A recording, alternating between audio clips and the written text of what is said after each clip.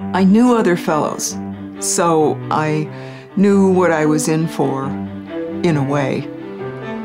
As far as the professional development, it was so, so good in reinforcing what I knew already, to, to take myself seriously, that this was the time to quit procrastinating, to go ahead and shoot for the stars.